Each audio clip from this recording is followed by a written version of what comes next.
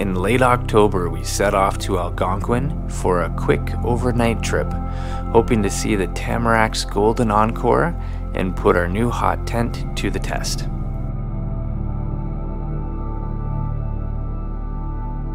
Following Highway 60 to our put in, our route takes us down the winding turns of Sunday Creek, past Norway Lake, and on to our camp at Fork Lake. Join us as we experience the sights and sounds of late fall in Algonquin.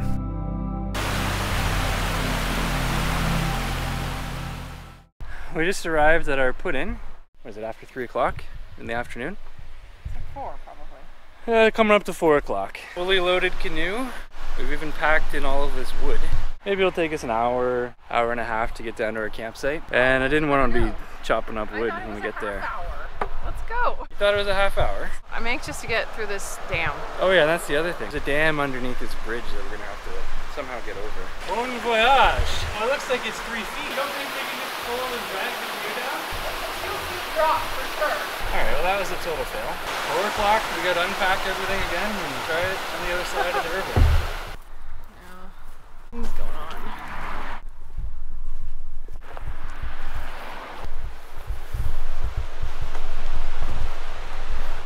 So how are you feeling so far on the trip?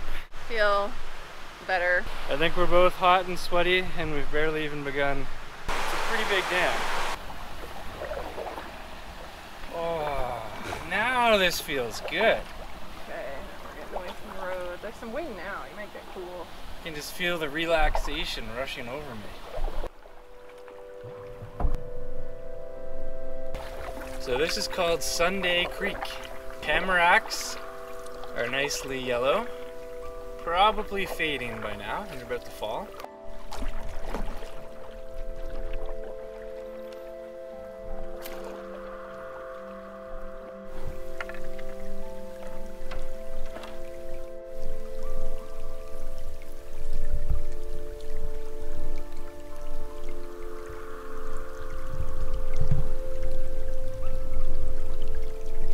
Look at that, doesn't even want to fly away.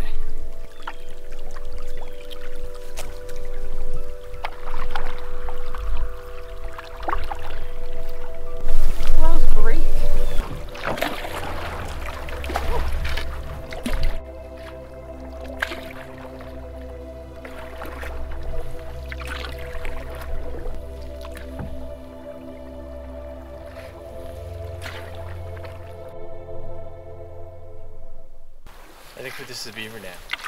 Pick up speed. Can we do it? I don't know. Okay, that's terrible. Yeah. Should I get out? Get We out. have to get a. Eric's over. Oh. oh my gosh. Something's happening. Looks like about a half foot to one foot drop.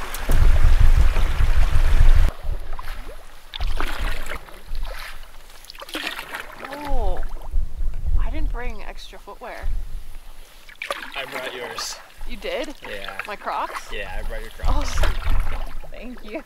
You're welcome. It's like, what good are my dry socks gonna do if I don't have dry footwear? Yeah. Oh my gosh. You. You brought your Crocs too? Yeah. Oh.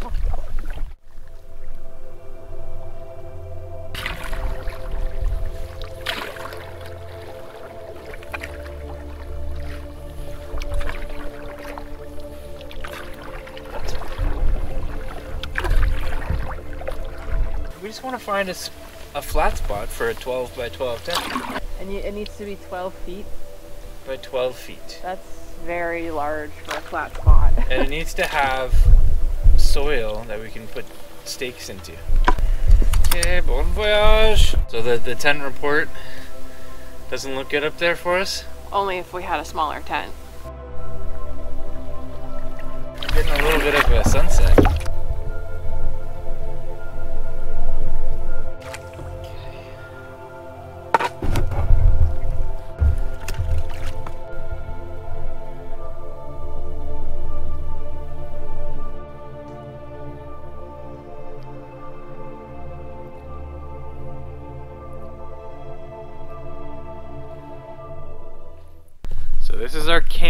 Campsite here. We got a, a mediocre fire pit. It's got a pretty good view though. It's got a good view out front. worst campsite that we've probably picked almost ever. Except maybe some of the ones on the river in Temagami, which I just wasn't that big of a fan of. Yeah, so the thunder box is, you can just see it in the woods there. It's about 30 feet away. Not much going on over The lake is here. nice, actual campsite just really sucks.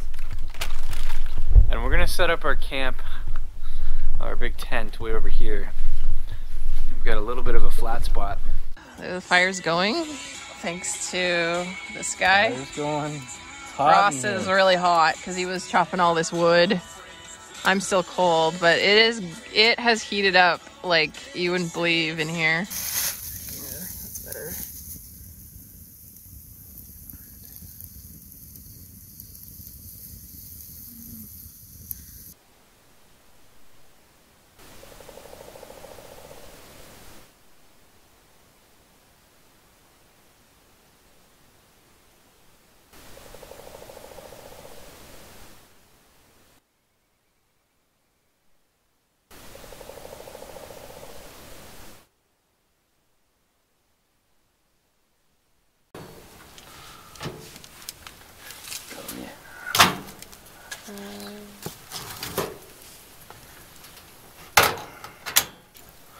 There's a woodpecker pecking away outside. It's perfectly quiet, interrupted by this woodpecker. Oh, cool.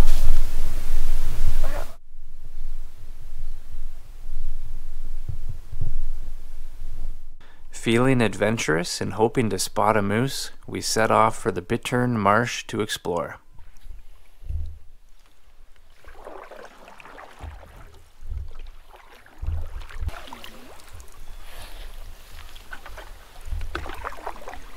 Might be able to drop you on shore and just tackle it all myself, and you can walk through the woods. So I'm gonna make my way to the creek, and I'll kind of see you over there. Bring my coffee. Should I? Should I? Uh, Just leave the paddle. oh, I'm already wet. You're wet? Well, I got so like because it's a little wet here. Oh no, Oh, that's too bad. The creek's a little farther over than I, I thought. Question is, can I walk in there with my boots without getting a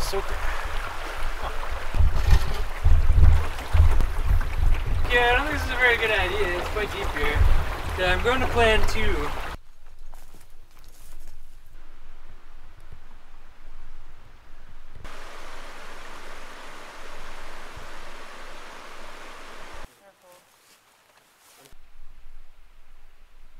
We're at the top of the beaver dam here. It appears to be a five or six foot drop down. It's incredible. Busy beavers.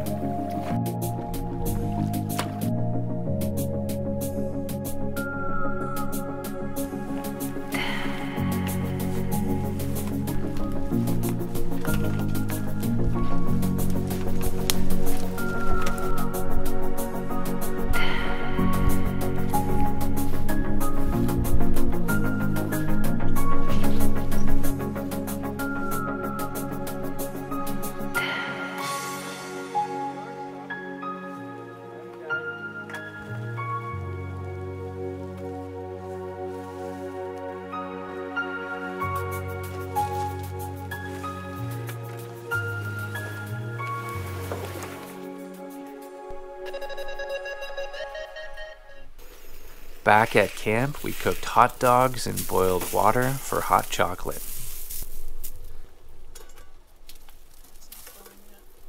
It's actually healthy. We're gonna do a cheers with our new Yeah, it's like Oh, it's, just burn my hand. yeah, just sip it. It's not bad. I haven't burned myself, but just don't like gulp it. After soaking in the views, it was time to pack up camp and head home. Say goodbye to our campsite.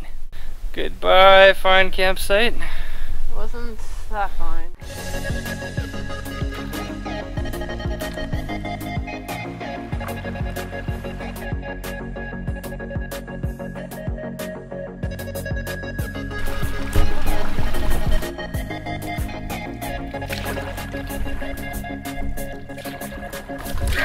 Speed.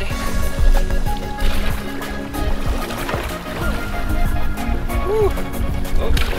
Yeah, just got. Thanks.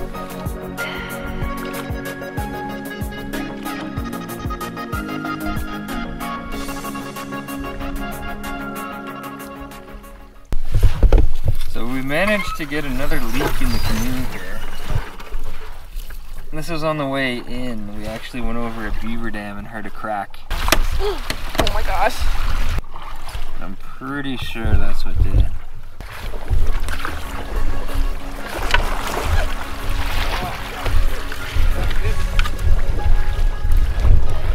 Oh, okay, we're just over it. Ah, we did it.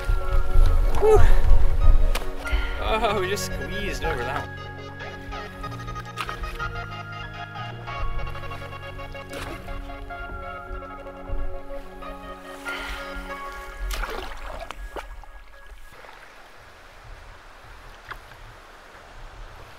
So the lesson learned if you're coming to the Sunday Creek, load and unload your gear on the bridge right beside the put in here. Save yourself a lot of time.